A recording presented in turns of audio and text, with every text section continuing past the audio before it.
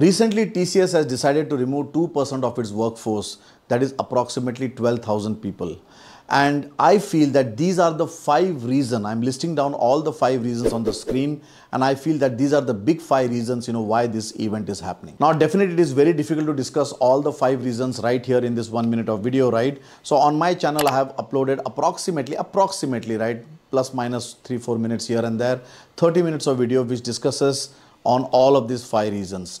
But in this video, let me discuss that one big reason you know why this event has happened. From all of these five reasons right the biggest reason is reason number one. Many uh, people in the indian IT industry think that if you want to grow up the ladder if you want to grow monetarily or if you want to grow in terms of position right you should start doing more non-tech activities. In other words you will find that many people encourage that after a certain number of experience right stop coding and start doing governance in other words stop start doing follow-ups start doing task allocation, uh, start getting into people management and so on, right? And I think that is the biggest reason why TCS is doing this, right? Because if you look at the CEO statement, it clearly says that we are this, whatever layoff they are planning, right? It is happening mostly with the senior and the mid-level management. And most of these senior people and the mid-level managers have left technology long back, right?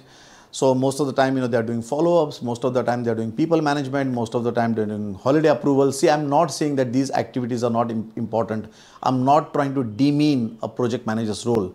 I'm just trying to say that is it just a role of a coordinator? Is it a project manager, a leader, or just a coordinator, right? We have to differentiate between them. So I think that is one of the biggest reason, you know, why this event is happening in TCS or is supposed to happen, right? Because they have said that they will do it in a, on a gradual basis. So on in this 30 minutes of video, I have talked about all the five reasons in detail with data. I have talked with data as well, right? And also I've talked about uh, two solutions as well. One solution, you know, from our side as a tech, what we should do, definitely we should learn, right? We should keep upgraded. That is very normal, right? And the next one is from the IT company's perspective also I've given some solutions. So please go ahead and look at the video, give comments, right? And most important thing, you know, all these kind of events can happen.